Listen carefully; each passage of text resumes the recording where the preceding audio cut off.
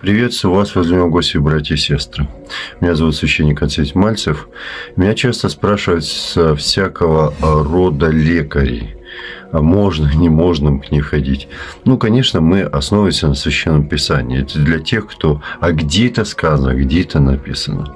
Давайте вспомним, как в городе Филиппы, апостол Павел и Сила а, исцелили одну служанку, которая была одержимым духа а, прозорливости, скажем так, которая благодаря этому нечистому духу предрекала какие-то будущие действия для своих хозяев, с помощью чего они обогащались. На самом деле, ну, Ванга, да, которая, может, что-то на будущее было говорила, а потом уже чисто под ее именем что-то говорили. Но все-таки а, есть ли такие места в Священном Писании, где Господь запрещает это делать?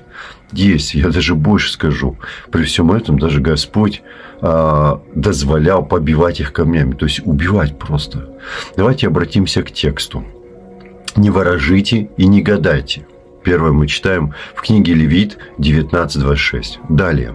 «Не должен находиться у тебя проводящий сына своего или дочь свою через огонь, прорицатель, гадатель, ворожей, чародей, обаятель, ну, приворот, да, а, вызывающий духов, волшебник, вопрощающий мертвых, имба мерзок, перед Господом всякий делающий это, за сие а, мерзости Господь Бог твой изгоняет их от лица твоего. Второзаконие 18, 18 глава 10-12, да? А вот даже у убийства таких в Ветхом Завете, я подчеркиваю, Ветхий Завет, мужчина или это женщина, если будут они вызывать мертвых и волховать, да будут преданы смерти, камнями должно побить их, кровь их на них. Левит 20.27. Ну, понятно, что Ветхий Завет, он очень жесткий, э, око за око, зуб за зуб, такой закон справедливости. Но почему можно было даже побивать таких? Потому что э, в Новом Завете говорит Господь, не бойтесь убивающей тело, бойтесь убивающей душу. Вот это именно хула на Духа Святаго, который э, не, и ни в коем случае не должна коснуться нас.